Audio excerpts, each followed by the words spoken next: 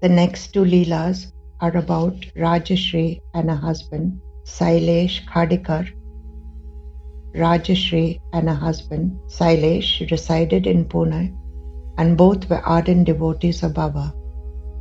He loved his sister very much and then she got married and moved to Satara with her husband.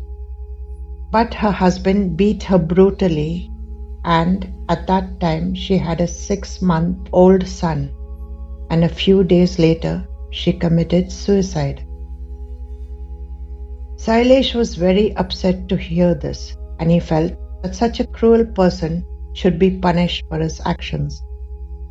He sought justice in the court as his brother in law resided in Satara, so Sailesh had to register the case there.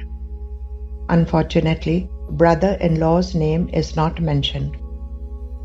The case was a long process and it went on for seven long years. Sailesh worked in the police department and he managed to continue going to work and also attend the court cases his brother in law resorted to devious means like bribery, being absent from the hearing, destroying the evidence. But Sailesh had faith in Baba. One day, early in the morning, Sailesh became extremely ill. He had difficulty in breathing and his respiration became slow and labored. He started perspiring profusely and was unable to wake up. He thought he was going to die. At that moment, he started chanting Baba's name. He was staring at a picture of Baba that was hanging on the wall. Sailesh then saw the picture sliding to the floor, and from it, Baba emerged and stood before him. Baba stood like Lord Vittala with both his hands on his waist, and in a thundering voice he said, When I'm here, why are you worried? I will see what anyone will do to you. Do not be frightened, nothing will happen to you. And he disappeared.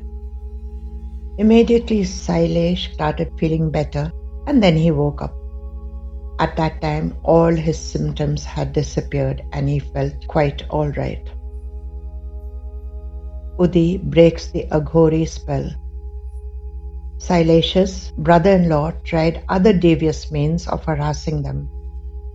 He got an Aghori Tantrik to cast black magic spells on Rajshri. Aghoris are a sect of sadhus who cover their body with ash. The Tantric group resort to cannibalism, drinking liquor, and perform black magic spells. Early that morning, she dreamt that an Aghori sadhu had two dolls with him, and he was fiercely pricking it with a huge needle. Simultaneously, Rajashri felt severe and unbearable pain in her body exactly in the same area that the dolls were pricked. Then he threw both the dolls into the fire. At that moment, Baba appeared. His eyes were red with anger and he looked fiercely. He immediately put his hand into the fire pit and pulled out both the dolls. Rajeshri couldn't bear the thought that Baba had burnt his hand to save them, and she burst out crying. Finally, she woke up crying and she narrated the dream to her husband.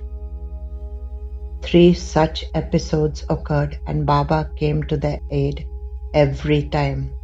And finally, the Aghori stopped troubling them.